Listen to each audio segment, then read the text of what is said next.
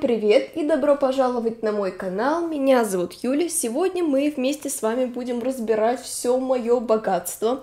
Вся эта косметика уже не влезает ко мне в мой ежедневный столик, поэтому сегодня у нас с вами будет очень большая задача.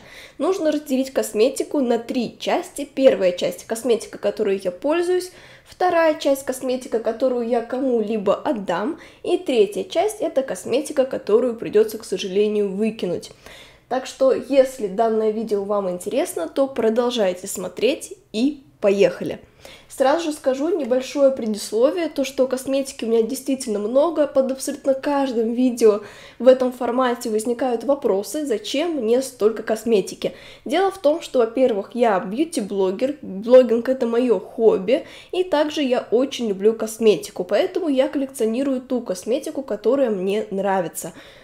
Коллекционеры почтовых марок коллекционируют сотнями и тысячами эти самые марки, а я коллекционирую косметику, которая мне подходит.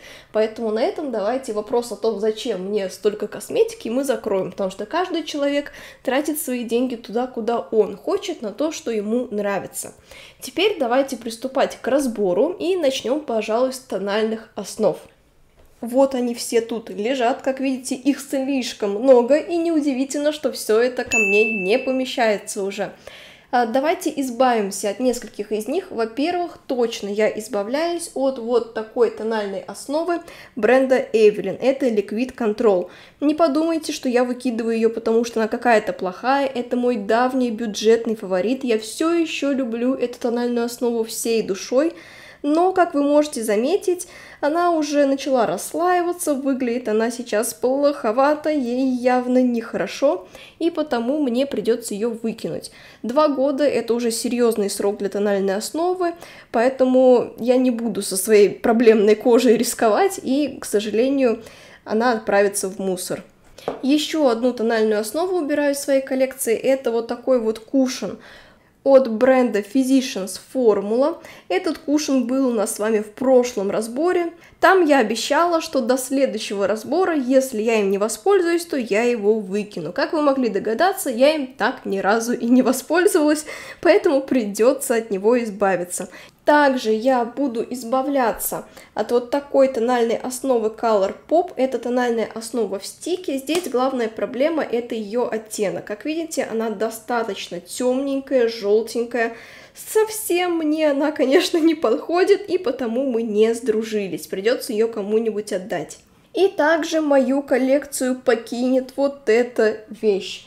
Очень жалко мне избавляться от Estee Lauder W. Я очень люблю эту тональную основу, но, к сожалению, она уже тоже очень старенькая. Я ее покупала в самом начале ведения своего канала, то есть 2-3 года назад, и это тоже очень большой срок для тональной основы. Придется мне ее убрать.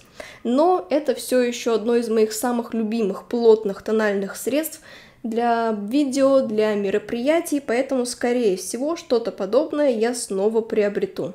И также я сейчас убираю из своей коллекции вот эту тональную основу от Evelyn Satin Matte.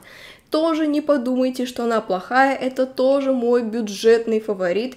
Очень хорошая тональная основа, прямо таки рекомендую, но, к сожалению, она тоже достаточно старенькая, ей примерно полтора-два года, и, соответственно, ею пользоваться уже небезопасно. Но и также, скрипя сердцем, мне все же придется убрать вот эту тональную основу от Шарлотты Тилбери. С ней все просто, она мне просто не подходит, она, она мне не подходит, она на мне дает крайне плохой эффект, она подчеркивает поры, она забивается в поры, она ложится очень плохо, она выглядит на мне некрасиво, все остальное остается в моей коллекции. Очень люблю Vivienne Sabo Шака Шака, потрясающий тональный крем с сияющим финишем. Очень люблю Estee Lauder Футурист. Я уже сотню раз рассказывала вам об этом тональном средстве. Очень люблю 8 пептидов от Enough, тоже очень красивый сияющий эффект. Люблю Alien, тоже хороший достаточно тональный крем. Люблю Кушон от Миша. К сожалению, не могу сильно похвалить вот этот тон от Шисейда. У меня на канале недавно вышел тест-драйв, где была эта тональная основа, я про нее там подробно рассказывала, показывала нанесение на кожу, очень-очень странная тональная основа, отчасти я ее люблю, но она мне нравится, когда я смотрю на себя издалека, но как только ты подходишь к зеркалу и начинаешь рассматривать себя вблизи, то тебя прям-таки, скажем, пробирает дрожь, настолько плохо кожа выглядит вблизи, поэтому это очень спорная тональная основа, но пока что я ее у себя оставляю. Теперь давайте быстренько поговорим о праймерах. На самом деле оставляю я здесь все, кроме одного. Избавляюсь я от вот этого праймера Etude House Face Blur. На самом деле это был неплохой праймер, не могу сказать, что я его как-то сильно любила, но мне нравилось то, что здесь есть SPF 33. На самом деле избавляюсь, потому что он тоже достаточно древний, ему 2 года, и пользоваться им, как мне кажется, уже небезопасно. Кстати, напишите в комментариях, как вы относитесь к сроку годности, смотрите вы на общий срок годности или же, быть может, вы смотрите вот на этот значок, то есть на срок годности после вскрытия упаковки. Лично я смотрю на второй срок годности, то есть на срок годности после вскрытия упаковки. И, как мне кажется, с моей проблемной кожей просто-напросто лучше не рисковать с такими вещами, потому что в крайнем случае у меня на кожу вылазит высыпание. Напишите, как вы относитесь к сроку годности, действительно ли средство портится, по вашему мнению, по истечению срока, или же, как вам кажется, быть может, его можно все еще использовать. Два моих самых любимых праймера это, пожалуй, вот эти два. Это NYX Marshmallow и Organic Kitchen с Еленой Богданович. NYX Marshmallow очень приятно пахнет, он позволяет тональной основе лучше приклеиваться, кожа потом выглядит лучше, она более заполированная, более красивая, а Organic Kitchen с Еленой Богданович дают больше сияния, и вместе с тональной основой с естественным финишем получается просто какая-то бомбическая кожа. Все остальное это среднячковые такие, скажем, праймеры, которые не вызывают во мне особенной любви, но и которые убирать из коллекции я пока что не буду. Теперь давайте поговорим о палетках теней для глаз. Сюда я выложила не все, что есть у меня в коллекции, иначе это видео бы затянулось очень надолго. Я сюда положила только те палетки, которые у меня появились в последние 3-4 месяца, то есть новые. Все дело в том, что у меня было видео про 33 палетки, где я рассказывала про все свои палетки, которые у меня были на тот момент. Поэтому я решила, что я не буду здесь повторять все то же самое. Кто захочет, для тех оставлю ссылочку, можете перейти и посмотреть. Сюда же я выложила те палетки, что появились у меня после создания, после снятия того видео, то есть новые. Здесь у меня Пэт Магрет, здесь все остальное. Давайте начнем, пожалуй, с Пэт, потому что это своего рода слон в комнате. Первые две палетки это четверки Interstellar Icon и Ritualistic Rose. Interstellar Icon мы недавно распаковывали, а, она совсем новая, поэтому она, конечно же, у меня остается. А вот что делать с ритуалистичной розой, я, честно говоря, понятия не имею. Она была у меня в тест-драйве, я там подробно рассказывала, чем же мне эта палетка так не понравилась. А на самом деле она, мне кажется, просто бракованная, она очень сыпучая, все эти крупные блестки осыпаются в глаза, и, к сожалению, у глаз появляется раздражение и очень сильный дискомфорт. А вот эти четыре большие палетки, они точно остаются у меня в коллекции, это, скажем так, новички, Subversive и Subliminal мы с вами раскрывали в недавней распаковке, оставлю на нее ссылочку, там потрясающие сводчи этих палеток, а, можете перейти, собственно, к тому видео и посмотреть. Палетку Midnight Sun я успела только один раз раскрыть, один раз ею попользоваться, и потом у меня уже появился конъюнктивит, поэтому ее я тоже буду в ближайшее время начинать активно тестировать. И на последнюю палетку, вот такую вот Divine Rose 2, у меня был обзор. Ее я протестировала уже и в хвост, и в гриву, она мне нравится, и она точно у меня остается. Дальше две палетки от Наташи Деноны. А первая палетка это вот такая мини-ретро, ее я очень люблю, она совсем не без греха, у нее есть очень много, таких скажем, грешков за ней водится, но все же мне нравится, поэтому я ее оставляю. А вот вот эта палетка, которая номер два, это дикое разочарование, и ее я, скорее всего, оставлять у себя не буду. Ее я отложу и подумаю, что с ней делать. Продавать или отдать, но точно не пользоваться. Она очень красивая, но она на мне совершенно не держится.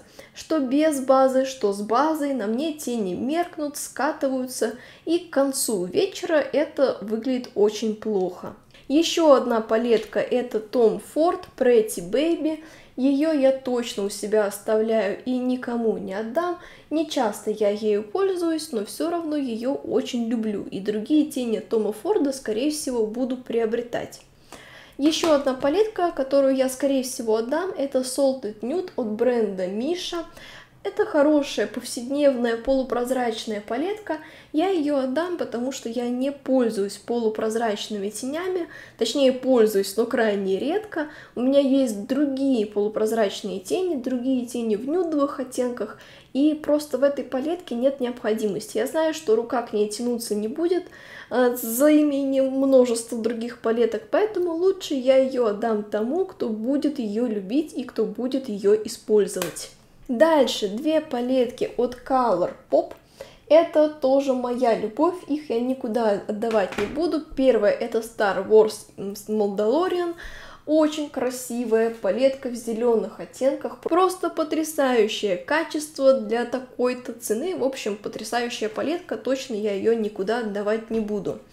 Палетка Lilac Yui Lot, она уже, по-моему, не в коллекции но все равно она очень красивая, мне хочется с нею еще сделать множество макияжей, поэтому она тоже остается.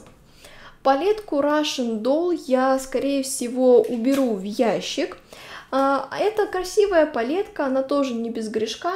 У меня был отдельный обзор на бренд Alien, там можете посмотреть подробно все об этой палетке. Палетка неплохая, но ее гамма красно-розовая уже настолько устаревшая, что рука сейчас к ней не тянется. И последняя палетка это Huda Beauty Naughty Nude. Ее я тоже, конечно же, оставляю, она мне очень и очень нравится. Теперь давайте поговорим о хайлайтерах, и я напоминаю, что если вам хочется, чтобы о какой-то категории я поговорила более подробно, а не так скользко, как сейчас, то вы, конечно же, можете написать свои комментарии. Давайте начнем с жидких хайлайтеров, потому что все с ними гораздо проще. Точно избавляюсь от хайлайтера от бренда Mixit. Когда-то мне этот хайлайтер нравился, но посмотрите, что с ним стало спустя сколько? Года два, два с половиной. В общем, он засох, и, честно говоря, вот этим непонятным месивом пользоваться не хочется. Также избавляюсь от хайлайтера Alien. Eveline, простите, не Alien. Эвелин хайлайтер все очень хвалят, но, к сожалению, на мне он не заметен, поэтому я от него хочу избавиться, а не хранить. Все остальные хайлайтеры я оставляю. Два моих самых любимых это, пожалуй, Люкс Визаж и Бека Опал. А хайлайтер от Шарлотты Тилбери я оставляю просто, чтобы его добить. Ничего, ничего особо привлекательного он из себя не представляет, к моему большому сожалению.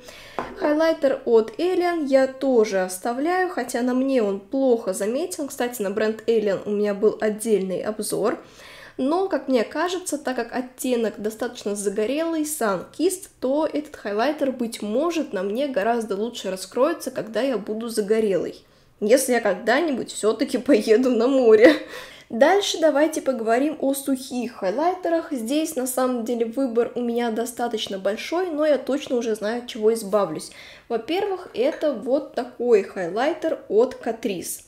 Наслушалась я Олю Ред Autumn, которая пела оду любви этому хайлайтеру, и, честно говоря, вообще пожалела, что его купила.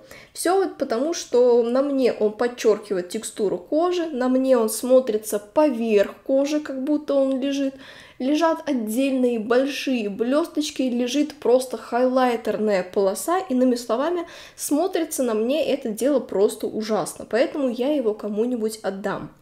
Также я, наверное, все-таки уберу из своей коллекции вот этот хайлайтер от Эльф. Он неплохой, не поймите меня неправильно, он мне в принципе даже нравится, но к нему рука совершенно не тянется, поэтому не вижу смысла захламлять им свое пространство. Также избавляюсь от хайлайтера и страт. За последний год я им воспользовалась только один раз, когда других хайлайтеров под рукой не было, а потому я его лучше кому-нибудь отдам. И также я точно избавляюсь от вот этого хайлайтера Wet n Wild. Его я, скорее всего, предложу кому-нибудь из своих знакомых. У меня вообще не идут отношения с Wet n Wild хайлайтерами. У меня был такой же, но в оттенке шампанского, его я отдала маме, и с вот этим оттенком, конечно же, тоже лучше не стало. Ну и также отложу я, пожалуй, вот такой хайлайтер от Colourpop. Он красивый, скорее всего, я оставлю его у себя в коллекции или, быть может, отдам а, кому-нибудь, но к нему рука не тянется. Он хороший, он не лежит поверх кожи, он не подчеркивает текстуру, но просто не тянется рука и ничего я с этим поделать не могу. И еще один хайлайтер, это палетка даже хайлайтеров от Essence. Очень любила я в свое время эту палетку. Здесь хайлайтер плюс румяна, что-то среднее, в общем, между хайлайтерами и румянами. Но в любом случае сейчас мне уже не хочется ею пользоваться. Сейчас у меня уже есть средство, которым рука тянется больше. От Dior хайлайтеры я оставляю и перекладываю их подальше, потому что не часто пользуюсь. А, хайлайтер от Анастасии Beverly Hills, вот такой вот Iced Out, это новинка в моей коллекции, тоже его оставляю, я уже успела его полюбить. Оставляю, конечно же, Наташу Денону, очень люблю этот хайлайтер, множество раз я пела ему оду любви. Обязательно оставляю Бобби Браун вот такую миниатюру хайлайтера. Мы с вами его пробовали в одном из последних видео, где тестировали косметику. Тоже его уже очень полюбила и никому не отдам. Про хайлайтер Мэри Лу от The Balm я, пожалуй, даже говорить не буду. Вы уже и так точно знаете мое отношение к нему. Бека Апал тоже мой любимый хайлайтер. Жуэр тоже мой любимый хайлайтер, которому, к сожалению, у меня сейчас не часто тянется рука, но все равно в коллекции он точно остается. Вот хайлайтер от Revlon и второй хайлайтер от Wet n Wild это как раз таки проблемные места, скажем так, над которыми нужно подумать. Вот этот хайлайтер мне совершенно не зашел, он оказался гораздо темнее чем был на фото, он лежит на коже какими-то блесточками и, в общем, не то чтобы хорошо смотрится. Наверное, я дам ему еще шанс, оставлю его до лета, когда кожа будет потемнее, но если все так дальше и пойдет, то он тоже кому-нибудь отправится. И хайлайтер от Wet n Wild, вот такой вот рассыпчатый, это тоже проблемное место. Он дает эффект именно зеркальности, но, к сожалению, при близком рассмотрении видно то, что это просто россыпь больших блесток у вас на скулах. Поэтому, честно, не знаю, что с ним делать. Скорее всего, я его пока что оставлю и посмотрю, как у меня дальше с ним пойдут дела. Теперь давайте разбираться с бронзерами, скульпторами и всем подобным. Для начала я отложила палетки, где есть несколько разных средств, чтобы они нам не мешали. А, палетка от Шарлотты Тилбери, вот такая большая, здесь много всего, здесь и тени, и хайлайтер, и румяна, и бронзер.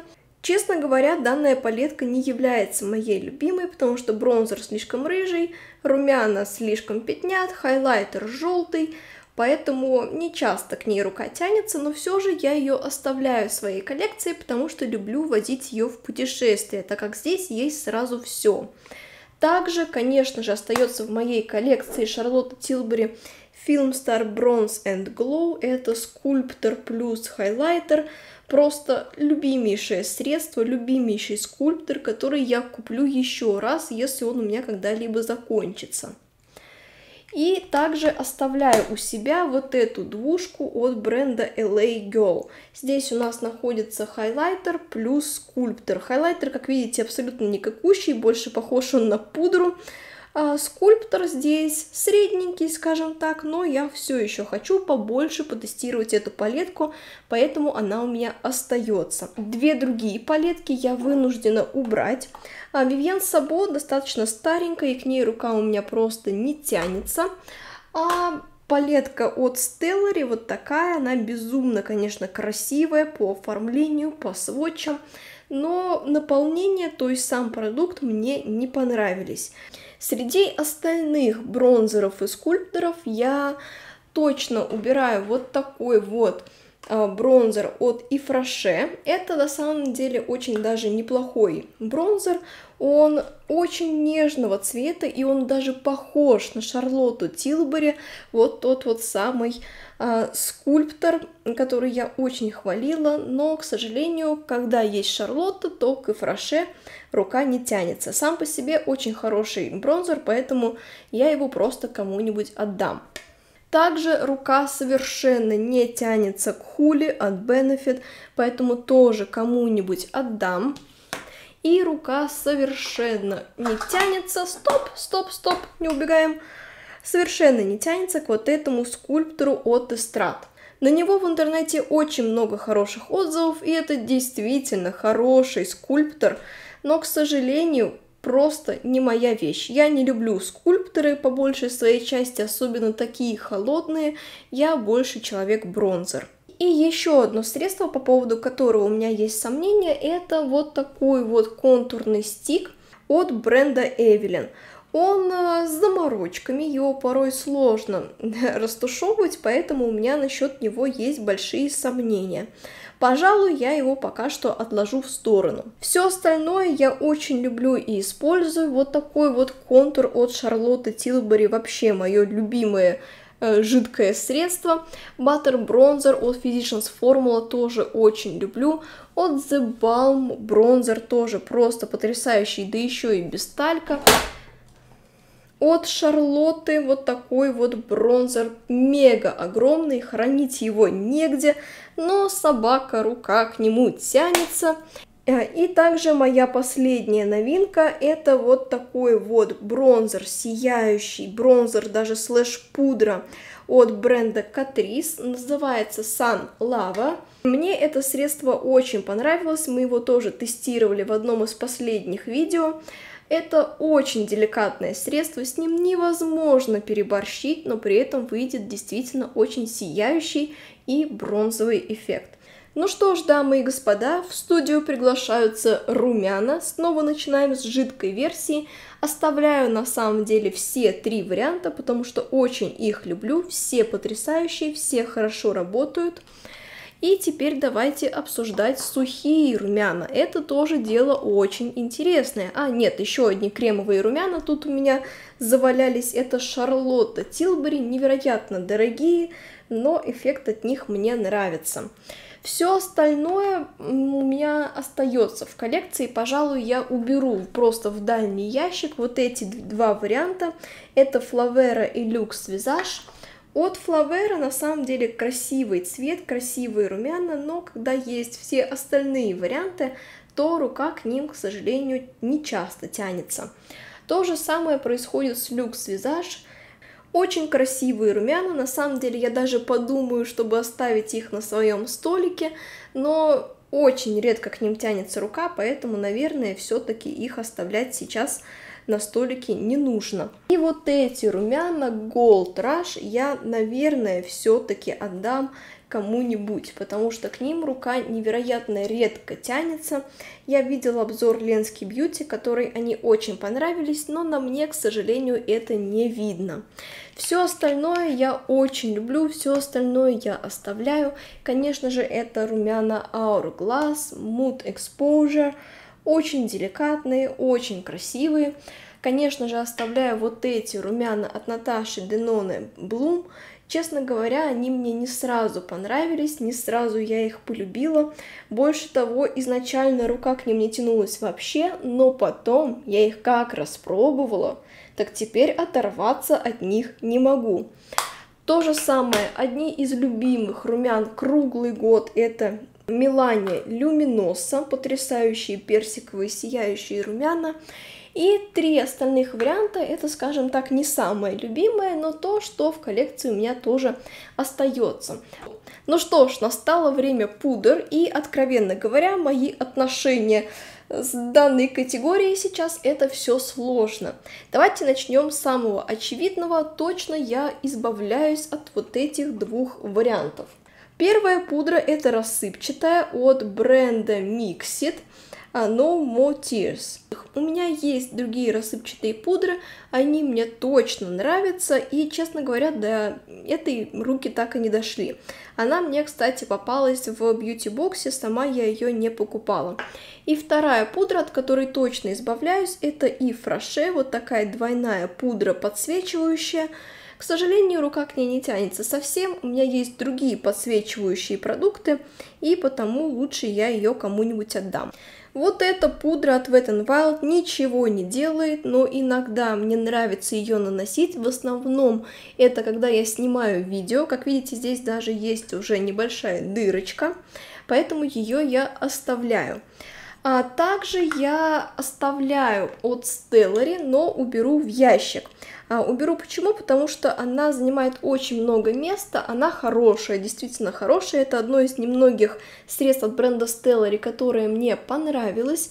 Но, к сожалению, есть другие пудры, которые я использую чаще, поэтому эту придется отложить, потому что пользоваться всем и сразу, к сожалению, невозможно. Обязательно оставляю себя в коллекции вот такой набор пудр от Hourglass, это подсвечивающие пудры, их я вам не рекомендую, потому что эффект от них очень слабенький и видно его трудно, но мне нравится уверять себя в том, что я ее купила не просто так, что она работает, поэтому я ее оставляю. Также оставляю вот эту пудру от Dior, мы ее недавно с вами тестировали, это непонятно, какая пудра, то ли она матирует, то ли она придает сияние, черт вообще поймешь, что с этой пудрой и что она хочет сделать с нашей кожей, но я все еще пытаюсь с ней разобраться, поэтому я ее оставляю. Пудра от Alien. Это одна из немногих пудр, которую я оставляю в спрессованном формате. Я обычно люблю более рассыпчатые, но эта пудра мне хорошо закрепляет макияж, блюрит поры, поэтому я ее люблю использовать. Пудру от L'Oreal, честно говоря, не знаю даже оставлять или нет. Это хорошая затирка, огромная такая, большая-большая очень похожая на маску затирка. Ею я крайне редко пользуюсь, но на всякий случай, пожалуй, оставлю. Быть может, я еще найду ей применение. Вся вот эта кучка у меня тоже остается. Это мои любимые пудры. Они рассыпчатые, и ими я фиксирую макияж. Это Cover FX. Очень люблю ее. Она, кстати, без талька. Это Hourglass. Ее я люблю чуть меньше, чем другие варианты, но тоже ее оставляю, она хорошая. Эвелин, Mad My Day банановая, тоже очень классная. Люблю всей душой. И также Лора Мерсье. Ну, а вот эти четыре пудры, они на самом деле совершенно одинаковые по своему эффекту. Это Color Pop, это Maybelline Fit Me, Эстрад Супер Селфи и это Шарлотта Тилбери. Честно говоря, не знаю, что с этими пудрами делать, потому что дают они совершенно одинаковый эффект и явно нет смысла их все держать. Давайте, наверное, я Шарлотту Тилбери оставлю, попытаюсь еще с нею подружиться. Color Pop я уберу, потому что в последнее время у меня рука к ней не тянется, хотя она тоже хорошая. Истрат тоже действительно классная пудра для селфи, она действительно блюрит поры, она делает кожу выровненной, но, к сожалению, не тянется рука. И давайте оставлю вот эту Maybelline Fit Me, она тоже матирует, выравнивает поры, делает кожу более красивой. Рука к ней редко тянется, потому что есть много других пудр, но все же я хочу дать ей еще один шанс на существование в моей косметичке. Дальше давайте разбирать консилеры. Я их разложила по трем категориям. Легкие, средние, плотные. Среди легких консилеров у меня остаются все. Это Элиан, это Эвелин, Катрис и также Стеллари. К ним претензий никаких нет, они у меня как были, так и остаются. Среди средней плотности консилеров, в общем-то, у меня тоже все остаются. И из плотных я хочу убрать как минимум один вариант. Это вот такой вот консилер от Joer. Его я очень любила, он хорошо перекрывал мне все недостатки, но он закончился, поэтому избавляемся. Теперь давайте разбирать всякую шушеру для глаз. Здесь много-много всего. Поехали! У меня здесь три пигмента, один вот такой вот от Focalure, два от iMagic. А на самом деле все эти пигменты я уберу в ящик, я их не выкидываю, просто я ими крайне редко пользуюсь. И потому не вижу смысла их сейчас у себя держать под рукой. А, совсем убираю из коллекции я вот эти две однушки Essence Melted Chrome. По-моему, я их хотела убрать еще при прошлом разборе, но каждый раз, когда я на них смотрю и делаю сводчи, мне хочется их обратно вернуть. А, остаются в коллекции определенно вот такая вот однушка от Виктории Бекхэм, остается Hourglass однушка, тоже очень красивая остаются вот эти вот тени от Шарлотты Тилбери, хотя я на них очень сильно ругалась, и я все еще их не люблю, но я буду пытаться, пока они свежие, их выработать хотя бы частично. Вообще, вне сомнений, а вне любых просто обсуждений, вот эти три однушки от Наташи Деноны очень люблю все, просто обожаю эти однушки и никому ни за что их не отдам. А, на самом деле я бы подумала, чтобы убрать вот эти вот тени от Color Pop. Они, конечно, красивые, но, к сожалению, на глаза они тоже не передаются так ярко, как хотелось бы. Наверное, я их все-таки пока что оставлю до следующего разбора, и если так и не буду ими пользоваться, то мы с вами все-таки их уберем. И дальше, дальше давайте поговорим про подводки. Две кремовые подводки я оставляю. Это эльф, вот такая коричневая, и это подводка от Maybelline. Хорошие подводки, придраться не к чему. Дальше здесь у меня тоже лежат подводки, как видите, две из них это черные Physicians Formula, одна коричневая тоже остается, и подводка от еще Kat Von D. Она тоже все еще рисует и тоже у меня остается. Здесь нам надо с вами сейчас перебрать все базы для макияжа глаз, а, убираю определенно вот эту от Catrice, потому что не вижу от нее никакого толку. Также убираю вот эту от Essence, от нее тоже никакого толка не вижу. Пока что оставлю вот такую базу от Vivienne с собой, я ей крайне мало пользовалась. Пока что меня смущает то, что она очень белая и она именно выбеливает века. Теперь давайте более подробно займемся всеми вот этими карандашами. Здесь действительно есть от чего избавиться. Во-первых, я убираю вот такой карандаш от Vivienne Sabo, он просто сухой. Убираю вот этот вот карандаш от Романовой, он, он неплохой, но он какой-то засохший. Убираю Maybelline э, Мастер Драма, он, по-моему, назывался. Он сейчас у меня постоянно отпечатывается на нижнем веке.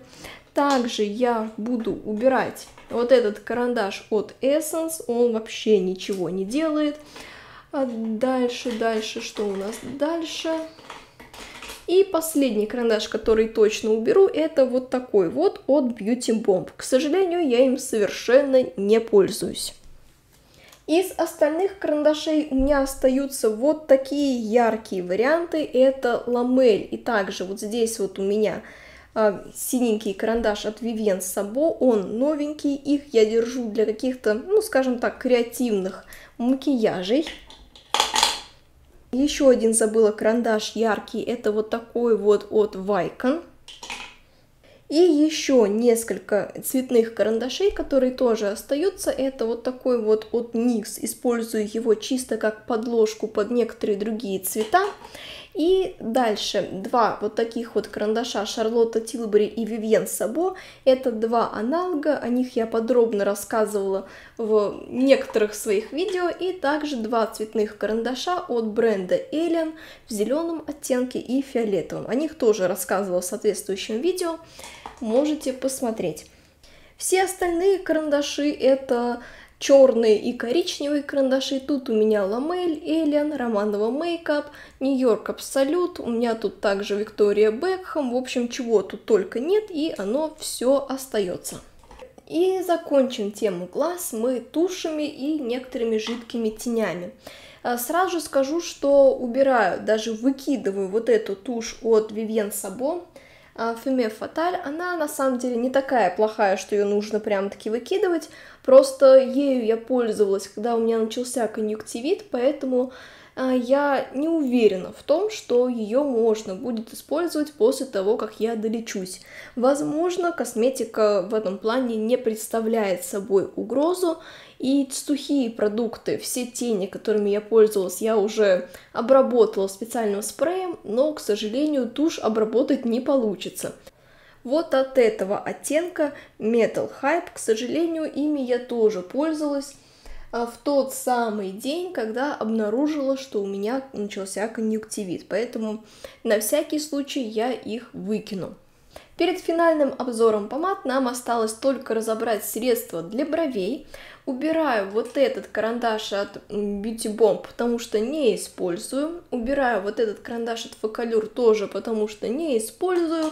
Убираю от Stellary, потому что тоже не использую. Убираю от Nabla, причем даже, скорее всего, выкидываю, потому что он очень жесткий, и им нужно сильно давить, чтобы что-то нарисовать. И это мне, конечно, совсем не нравится. И также я убираю вот такой вот карандаш от Color Pop. И нашла я также три потеряшки, про которые совсем забыла рассказать. Первое, это вот такой гель от Анастасии Beverly Hills, его я оставляю. А, тушь Pillow Talk от Шарлотты. К сожалению, я вынуждена выкинуть. Во-первых, я ею пользовалась во время конъюнктивита, а во-вторых, а, она засохла. Да-да, ей всего, ей всего полгода, а она уже засохла. Вы представляете, зараза-то какая? Просто дикое разочарование. И тушь от Stellary я, скорее всего, оставлю. Честно говоря, не помню, использовала ли я ее, когда начала только болеть но, наверное, я ее оставлю. Теперь давайте переходить к помадам, и тут все очень-очень-очень плохо, их прямо-таки невероятно много, но я вынуждена что-то начинать убирать, потому что ни в один контейнер повседневный они не влезают. Убираю вот такой бальзам от Yves Saint Laurent, к сожалению, я им не пользуюсь, хотя когда-то раньше он у меня очень активно был в ходу. У него очень яркий цвет, вот посмотрите, он просто неон, и сейчас я таким просто не пользуюсь. Также убираю вот эту помаду от Essence. Она хорошая, но слишком теплая, и я крайне редко люблю такие цвета. Как видите, просто потрясающий такой карамельный оттенок. Поэтому я ее не выкидываю, а лишь откладываю. Убираю вот эту помаду от Эстрад, она тоже очень-очень ничего, но рука не тянется. Убираю вот эту помаду от Color Pop, она тоже в красивом оттенке, но, к сожалению, формула ее мне не очень сильно понравилась. Убираю вот такую помаду от Буржуа, она классная, но подсушивает губы. Убираю вот этот блеск от Color Pop, потому что редко к нему тянется рука. А, убираю вот эту помаду, это Сифара. Она мне попалась в бьюти-боксе, очень, кстати, неплохая помада а, и красивая, но, к сожалению, ее просто нигде нельзя купить. Также убираю блеск от Шарлотты Тилбери, он у меня был в одном из обзоров. Он, к сожалению, просто ужасен, за губами он не ухаживает, цвет он дает, ну, ничего особенного, в общем, очень дорогой блеск и очень никакое действие. Также убираю вот эту помаду, причем выкидываю, потому что она достаточно старая, это Живанши. Очень я раньше любила эти помады, но сейчас рука не тянется. И как видите, цвет опять-таки очень яркий. Я сейчас последние годы такой просто не ношу. И последнее, что я тоже точно убираю, это вот это а, это блеск такой от Color Pop, он на самом деле очень даже симпатичный. Вот он. Но рука к нему не тянется. И из всего остального я еще, кстати, уберу вот эти две помады, совсем про них забыла. А, первое это Huda Beauty, оттенок называется Day Slayer. А, честно говоря, это матовая помада, которой я так ни разу и не воспользовалась. Не воспользовалась, потому что здесь цвет тоже совсем не мой, она мне попалась в Cool Beauty Goodie поэтому цвет я сама не выбирала. Как видите, очень такой темный, шоколадный, а, очень много бежевого. Цвет, конечно, красивый, но на мне, к сожалению, такое не смотрится. И также избавляюсь от вот этой помады Lux Visage Pinap. Это на самом деле неплохая матовая помада, но, к сожалению, я ею не пользуюсь. Вот, у нее очень красивый оттенок, поэтому пока что я ее отложу. Также вынуждена я отложить вот эту помаду от Maybelline Super Stay. У меня на самом деле две такие помады, просто одна в более темном оттенке, одна в более светлом. Та, что в более темном, мне совсем не подходит, она слишком ярко смотрится, поэтому я ее кому-нибудь лучше отдам или же отложу в дальний ящик. И также я уберу вот эту помаду стики от Alien. А, тоже убираю ее в ящик, она очень-очень ярко смотрится, с нею крайне трудно подружиться, она гиперпигментированная, я уже показывала ее в отдельном обзоре, поэтому, честно говоря, когда есть множество других помад, то просто не хочется с нею как-то особо заморачиваться. И вот у меня тут еще два стика есть от NARS. Вот этот я оставляю, потому что у него симпатичный оттенок. Извиняюсь, конечно, что она такая перепачканная, чумасая. А второй стик я все-таки кому-то отдам, я им ни разу не воспользовалась. Это миниатюра. А, не воспользовалась, потому что уже очень яркий цвет. Вот он, этот стик у меня нанесен. И опять-таки я такое просто сейчас не ношу. И нет смысла мне держать стик, который я не использую. Его я, к слову, тоже сама не покупала, он тоже мне попался в гуди бэг. Также стоит подумать насчет вот этой помады. Она мне попалась в бьюти-боксе Марка Кауфмана. У нее красивый рыжеватый оттенок, но почему-то рука к ней не тянется. Также стоит подумать над вот этой помадой от Stellary. Она на самом деле в красивом идет оттенке. Вот она очень такая повседневная, нюдовая. Она очень повседневная, нюдовая, но рука к ней за последнее время не тянулась ни разу. И еще одна помада, над которой тоже стоит очень хорошо подумать, это помада от MAC в коллаборации с Наталиной. На самом деле помада-то неплохая, но, во-первых, мне не очень подходит ее формула, потому что она, на мой взгляд, ну, все же подсушивает губы, а во-вторых, оттенок на мне смотрится достаточно ярким, и не всегда он смотрится уместно. Знаю, звучит странно, но яркие глаза я люблю гораздо больше, чем яркие губы. Ну что ж, вот такую коробку косметики мы с вами насобирали. Вот это все наконец-то не будет захламлять мое пространство. Дальше я разберу эту коробку на две части. Первая часть это косметика с истекшим сроком годности, которую я выкину. И вторая часть это косметика, которую я кому-либо отдам. Большое спасибо всем, кто провел это время со мной. Ставьте лайк, если это видео вам понравилось, подписывайтесь на канал и всем Пока-пока.